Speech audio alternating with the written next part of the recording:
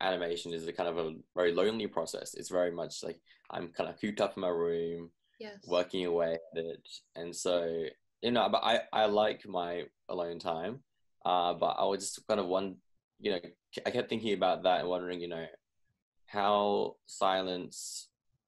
might you know affect someone's psyche and how an individual's I w- I was really interested in